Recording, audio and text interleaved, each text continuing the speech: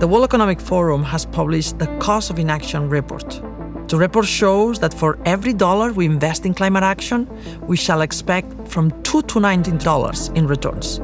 Investments in green transition are real, are happening. Only last year, investment in clean energy were almost twice as high as the new investment in fossil fuels. So we are moving in the right direction. We simply need to speed up.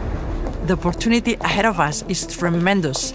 By 2030, the green market is expected to triple from 5 trillion to 14 trillion. As leaders we are, we must lead. We must drive change in our businesses. We must engage with our communities, with governments and regulators. Because climate action, it is not just avoiding risks. It's about turning challenges into competitive advantages. Biosolutions already play a big role today, bettering our planet. And we will play an even bigger role in the future, revolutionizing the way we all produce, the way we consume, and the way we live. For every job in biosolutions we create, four jobs are created in the value chain.